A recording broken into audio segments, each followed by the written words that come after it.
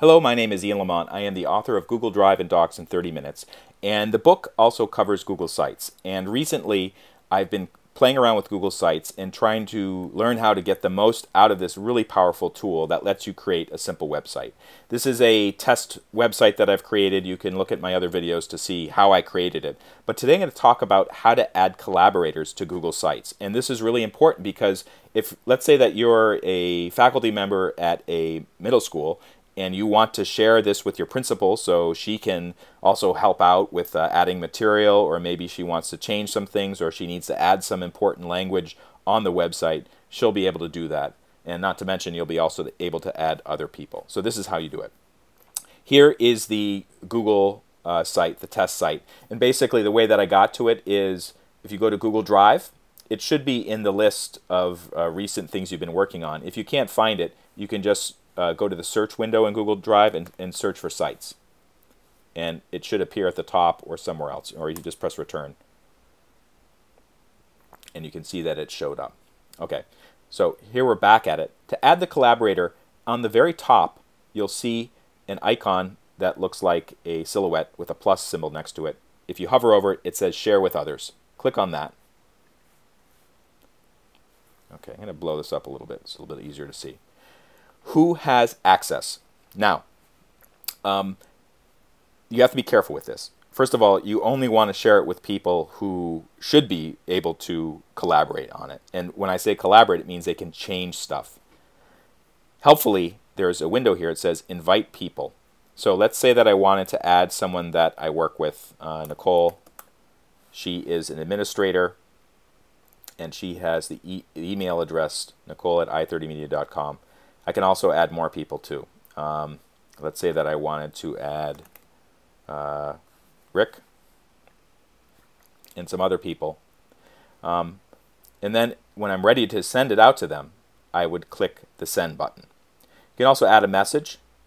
So here's the message. Hi, I am working on the test site for the middle school can you review the contents and update the front page text?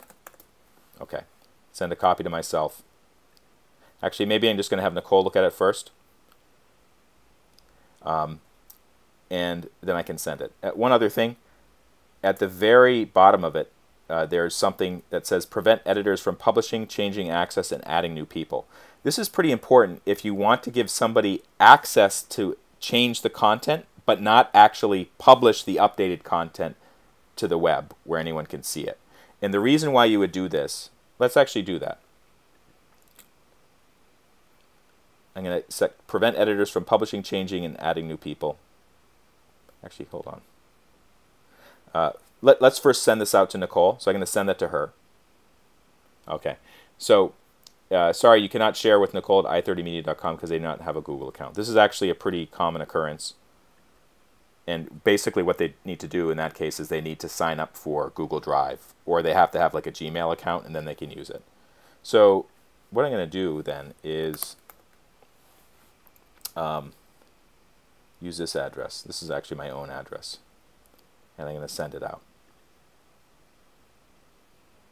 Okay, so just added Ian at ableroad.com as another user. So that person would be able to start to make changes. Uh, there's a pretty important setting down here, prevent editors from publishing, changing access, and adding new people. So you can click that and save that. And that means the other people, like uh, Ian at ableroad.com, he'll be able to change things. So he can say located in Maryville, New York, but he won't be able to publish it. He'll just be able to save it, and then I can review his changes later on just to make sure that they're okay. So you can see that that's a pretty important thing to do. To get more information on how to get the most out of Google Sites, check out the book Google Drive and Docs in 30 minutes. It includes a short chapter on Google Sites and how to get started. It doesn't cover everything, but it can get you started on the basics. Uh, go to in30minutes.com to learn more about the book and also to see more videos that I've posted about Google Sites and other topics. Available at in30minutes.com. Thank you so much for watching.